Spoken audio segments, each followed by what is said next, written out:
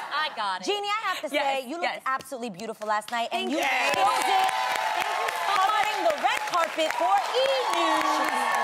Thank you. So I gotta ask. You, what would you say were the top three looks of the evening? It was so hard because there were so many great colors and people who really Yeah, went I there. love that. Yeah, it was But I- great. yeah, it was a good carpet. But I do break like if you're gonna make my list, I always look for three things: technical styling, a risk taker, and someone who's effortless. Okay. What's so, technical, technical styling? styling? So technical styling is when you have a gown that can be complicated because the dre- the best dress list isn't about the dress; it's about the entire ensemble mm. that Got the it. stylist worked so hard to put together. So for technical styling, I got to give it to my girl Keri Russell. Oh my gosh, she Yes. looks unbelievable. She's Oh, on the that's Americans. Loved it. Now, tailoring. Yeah, tailoring everything. Okay. So well tailored. You have a dress here that has feathers. It has two thigh high slits, a plunging neckline, and a Oh, belted wow. piece. That's a lot. Normally, a stylist who just wants to like make it an easy job, they put a nude heel and they Yeah. just pull the hair back and they're like, leave it be the dress. But this stylist actually went there and went with a spiral, beautiful champagne heel, put a oh. great drop earring, and then the hair was undone. The hairstylist was like, let the hair not take a back seat, but just sit there right there in the driver's, Right. you know, in the passenger seat to just still bring the look together. I'm into it. So I like that. Now for risk taker, Uh-huh. I really loved my girl friend of our the show, Tracee. Ellis I knew you were gonna say that. Yeah. Because I thought that too. Yes.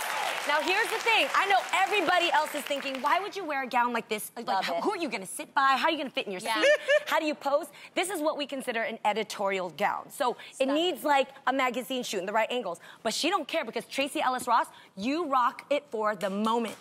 You make it your moment. You're at the Emmy. She's a walking editorial piece. She literally She walked really out is. and she got her pose down, which was kind of like this set hand, and she just went to every photographer like this and then smooshed it upon her face. She made every paparazzi get an editorial shot, which is sick, girl. Yes, I love it. you. I love it. And then the third one I would say has to be the effortless look. I give that to the beautiful Jessica Biel. Hands down. Yes. Here's So why. stunning. Here's why. When you want to look effortless, you want to look like not that you put little time into your look, but that it didn't take much. And with her hair just encascaded in mm-hmm. waves, she threw on a pop of a lip. She didn't All- have a lot of makeup on no, either. not at all. It was Yeah. just a lip and some mascara. Threw on the dress, brought her freaking accessory, Justin Timberlake, and was like, Okay. bye. Yeah.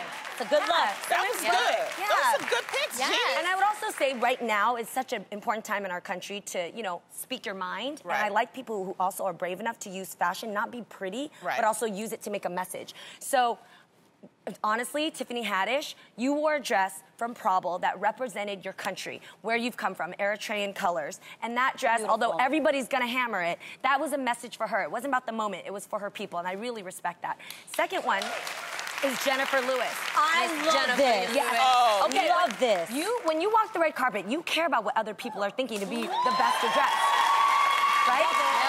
Jennifer Lewis said, "I don't Love care it. about fashion. It's not about this carpet. It's about what we need to know right now. I stand by Colin. I stand by Nike." She even had his afro. That was fun. I was here for the whole thing. Yeah, it was nice. I Well, love that. you know what? That's great, Jeannie. There were some big winners last night. Mm-hmm. First and foremost, I want to shout out the legendary Henry, Henry Winkler. The fun.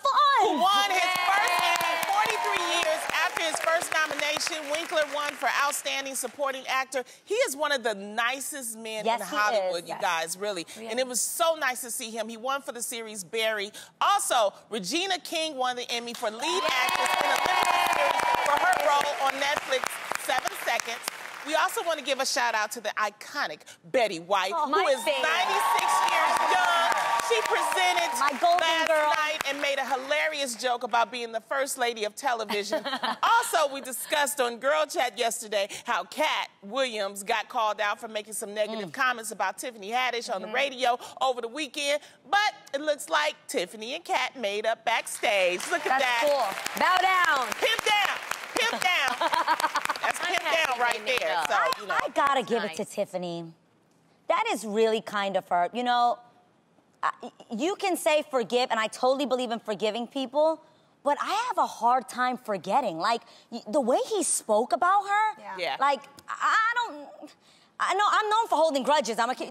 Like, am I the only one that looks at that and is just like, man, but he talked so bad about But she knew she was going to see. First of all, we all friends. Y'all got to remember that. We all been in this comedy game a long time. Yeah. She knows That's Katt. not we how all friends talk Katt. about each other. But no, well, we're all working friends. That's the whole thing. And the thing is that she knew she was going to see him. She took the high road. Mm-hmm. When he probably looked at her, he remembered the times that we wasn't Yeah. on television. Yeah. And it's like, really, bruh? And we don't know what words were said. I'm gonna, I'm gonna have, I'm gonna have a call with her. But um, you know, that's what you do. And it's, Yeah. and that's one thing I do know about Katt. He knows when he's wrong. Yes. You know what I mean? Well, and sometimes good. we get caught up in the moment. I'm just glad they wasn't fighting like uh, Yeah. Tom Arnold and Mark Burnett. That's all Yeah. I'm saying. That was a lot know? going on. Yeah. And I want to So- add, actually, there is a really beautiful gift that God has right there for you if you reach for it, which is honestly what Michelle Obama says when they go low, you go high.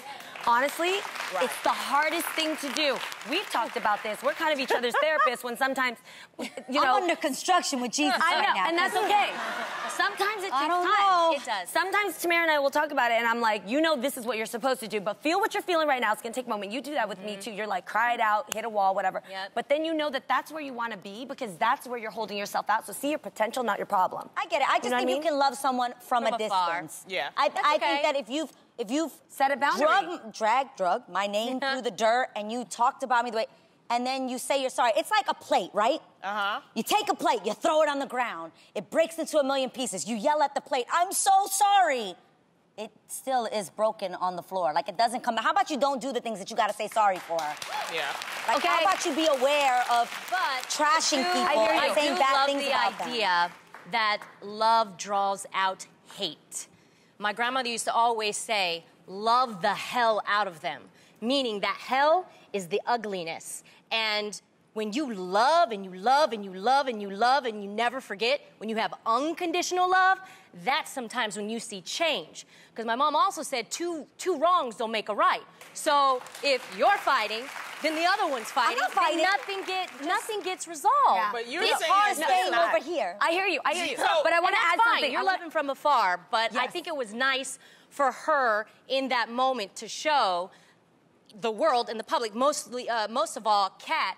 Like, look, I'm not gonna let your negative words and what you said about me define how I treat you Right, right. or others. Yes, and yes, that, yes. that's hard to do. Okay, But I- when you do it, you feel, you feel great. Maybe I want to add just one little thing to that analogy because I, I visualize too, and when my heart feels like it's broken and shattered, that's you all I can picture about what you someone did to me. publicly- no, I get it. I get it. Here's one of the best books, though. The four I love reading. The 4 Uh-huh. agreements, and one of the agreements is right. to not take it personal. Meaning, whatever that person did to you, it's not about you, them. It's about. It's not about you, it's about them. They're Right, going right, through right. some stuff that's making you try to feel broken. And guess what? Those breaks, we're all broken somehow, but it's through those cracks that light shines through. You need to be broken And it is to be a better person. Light done. shine Can I say that somebody that really looked good last night too was Angela Bassett. I want to give a shout out to her. Iconic. She's 60 years Yes. old She's and she looks great. Yes. Look Yep. at Okay. ooh, look at that. Come That's what I'm on, talking about. You better come The through. Emmys Wow. all the way That through. bone Okay, structure is well, the phenomenal. one person who was not in attendance at last night's Emmys was former CBS executive Les Moonves. Oh. And speaking of Les, it was also announced yesterday that his wife Julie Chen Moonves will be stepping you down. gotta do her whole name. Yes. You gotta do her whole name now. Okay, but like you said, we'll be stepping down from her role as host of The Talk. According to multiple news outlets, Julie, who has been absent from The Talk's current season, will reportedly make a videotaped statement during today's show.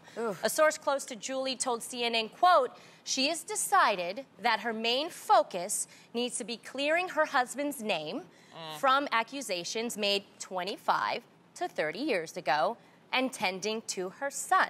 As of now, there are no plans for Julie to leave her role as the host of CBS's reality show, Big Brother. So, what do you guys think about Adrienne? I see you like processing. This is so. Yes. This has been really hard for me because I think, as a woman, you hear these stories and you're like, "Gosh, that is so awful," right? Yep. Then, as a wife, you hear this story and you're like, "How embarrassing!" You try to think of all the. I'm a, still a new wife. You know, I've only been married almost two years, Mm-hmm. but you think about like what she must be going through. And I'm just a girl's girl, so I always think about like what what is she going through as we're all looking at her like, uh, what you gonna say about your husband, you know? Mm-hmm.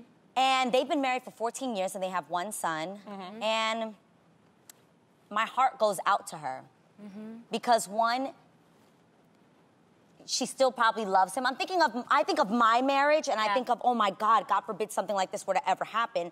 I think you have to do some soul searching and the soul searching has to be one, do you think he really did it? Mm-hmm. Well, my if you- heart goes out to the victims, okay? It It's goes 12 out to the victims women as well. that are accusing him, and not Of to cut you off, but it's just the, what one thing I want to say before we even the women at the talk, Sheryl, Sara, Eve, um, and Sharon. Those are the nicest women. Yes, they we really at this are. Table kind. wish you guys the best. Yes, yes. what So you're gonna go through. I want say. nice. They are allies of ours. They are friends here. And I think it's appropriate that she leaves. I think it's Oh, appropriate don't. because I think it is because it's to me you're talking about women's issues. You're talking about things. She's a woman. It would Why look can't she talk hypocritical. about it? But your your your husband is under um, accusations. And I think this Give is the break. time that she should be talking about it. If if you have the greatest platform on daytime television Absolutely. to speak to the people, to say your voice, to say what if you she really believe do that. he is innocent. She did. She did make Okay. a statement initially. Mm, no, my She thing is, one, you gotta do and some she soul said, "I'm gonna stand by my husband." And if she no stands matter by what. him,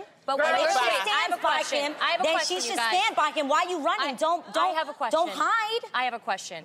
Was it her choice to stand down, or was it the producers of? You mean the- step down? A step. Well, step down. Yeah. Well, Or I, was it I don't think we know that. We Do don't know do we that. know that. We don't know Okay. that. All- but she in didn't my come for personal the opinion- first. Let's. Go ahead. Okay. Well, I believe she had no choice but to step down. Mm-hmm. Only because when I watch the talk, it is about women empowerment. And they stand by the hashtag MeToo movement. So she would be forced to talk about her her issue. 100%. And the thing is, is her husband, unfortunately, is a part of the hashtag MeToo movement in a bad in a bad way. So I'm thinking maybe she just doesn't want to talk about that right now. She doesn't want to open herself up because maybe she has to deal with that kind of stuff personally and she's probably not ready because So those girls are going to be like, That's "What's up? But- like, but why are you standing by your him. man?" If you're gonna stand by him, then stand by him all the way. Like you gotta think about this, man. If you are a wife and you believe in your heart, one, if you think he did it, you definitely should not stand by him Mm-hmm. Yep. just because he's your husband. Right. Wrong is wrong is wrong is wrong. Yes. And you should definitely be working just as hard to be there for those victims. Mm-hmm. If you believe he did it. Right. If you deep down in your soul stare into that man's eyes and you believe with all your heart that he did not do that, then I absolutely think that you should fight for that as well. But I'm saying, as part of the show, I think it's appropriate that she leaves because she was up there. What was she talking about Weinstein and being negative about right, that? right. So it's like so you everything can't- reflects back to what you're saying. He has to talk about that. Yes. Yeah, and that's, what where- we're saying. Like, Yes. give it a break. But she, I can- hear she what- can well, on come this back. panel, what I love about this show is you guys, we don't all have to agree. Of course, No, of course. that's so not so why can't she say her part, defend her piece, 'Cause it looks and let everyone? hypocritical. How does it look hypocritical to say Because what you believe? if, if, if, if your husband, God forbid, ever did something, Yeah. I'll be on you every day. I would be on you every day. As and you that- should. And the As you should members if you believe you did it. But And as I should if I did talk it, about. I should be there able to are defend other things him. to talk about on this show than whether your husband and your business. Leave the show. If, let the accusations work on it, and then come back if you it want makes to. it look to me, Can I say something? it looks guilty when you don't defend yourself.